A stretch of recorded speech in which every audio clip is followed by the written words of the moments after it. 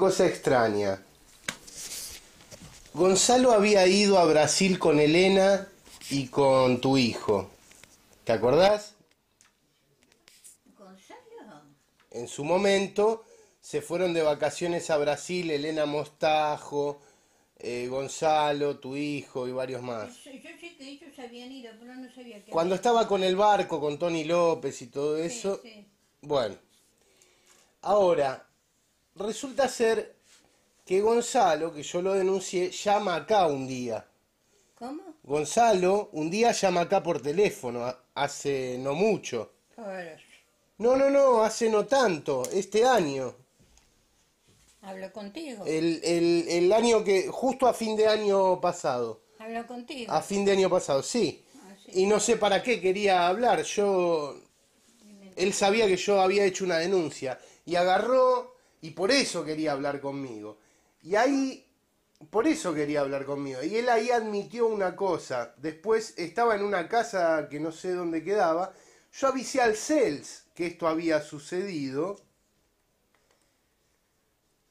Pero lo raro es que tiempo antes, un par de años antes, vos me dijiste que hablaste con Elena.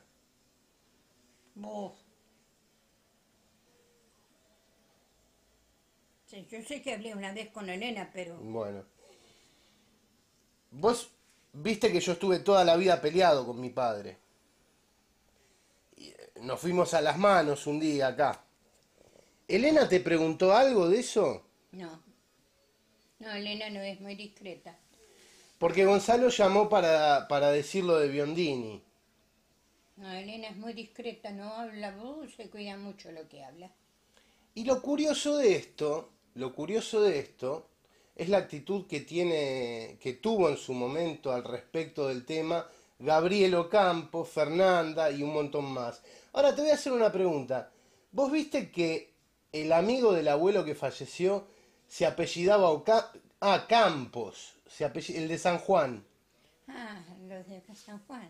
Campos se apellidaba, ¿no? Campo. casi. Mira cómo juegan con los apellidos. Y vos me dijiste que la madre de Leandro te llamó para hablar de Andrea San José. Eh, que me habló, que le... Sí, ella me llamó porque, ah, porque Andrea iba y se quedaba ahí a dormir, eh, se, se ponía en el, en el sofá y se Pero yo quedaba- ya estaba separado de Andrea. Y entonces le reclamaba a, a este a Leandro, y Leandro le decía, y yo no sé, mamá viene ahí, se tira y no sé. Pero yo ya estaba separado de Andrea, abuela. Sí, sí. Eh, ¿Y por qué la madre de Leandro le decía estás con la novia de tu amigo si yo estaba separado? Sí, pero eh, eh, la madre de Leandro es una persona muy educada y muy discreta. Si ella había tenido algo contigo, algo que es- roto, no, la madre No, de no Leandro me- era una persona muy educada y muy respetuosa. Pero eso no, no me importa. Lo que no me cierra es otra cosa.